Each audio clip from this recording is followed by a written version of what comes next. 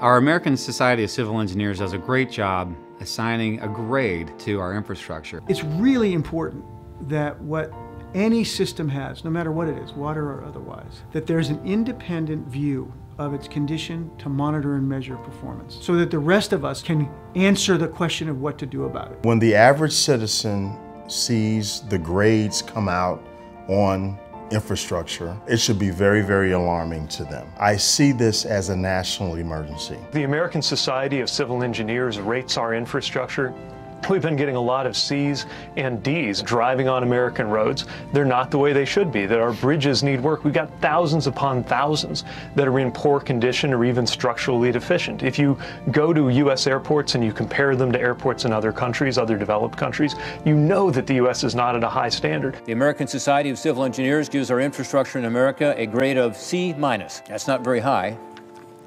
And they project our economy stands to lose more than $10 trillion in GDP by 2039 if we fail to invest in these repairs. But to do something, we need a measure and an enterprise that has the integrity to deliver a measure that can be believed and acted upon.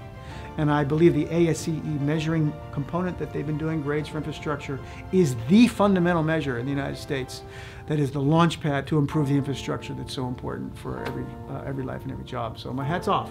And, uh, Shout out to the American Society of Civil Engineers. Thank you. We appreciate it.